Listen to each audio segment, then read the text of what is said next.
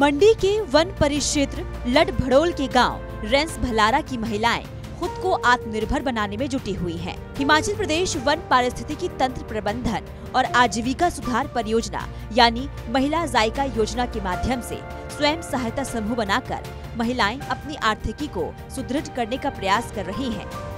साल 2020-21 के दौरान ग्राम वन विकास समिति रेंस भलारा द्वारा गठित राधा रानी स्वयं सहायता समूह में नौ महिलाएँ इसका हिस्सा बनी। इन महिलाओं द्वारा ग्रामीण स्तर पर उपलब्ध विभिन्न तरह के जंगली और प्राकृतिक उत्पादों से आचार, चटनी बनाने का काम किया जा रहा है।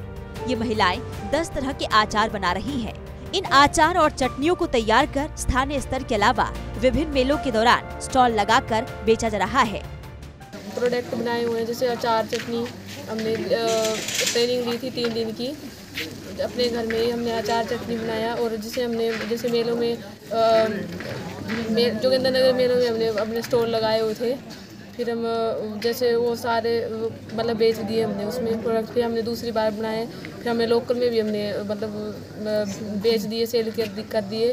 फिर हमने जैसे जायका के थ्रू हमने ये सब कार्य किए हैं। जायका ने हमें हमें एक लाख रुपए दिए थे। और जिससे हम अपना जैसे इंटरनोनिंग वगैरह करते हैं। और जैसे अब, अब हम जैसे मेलों में हर जगह हम अपने स्टॉल लगाते हैं। लोग जो अचार बनते हैं दस प्रकार के अचार बनाए हुए मैंने हमने।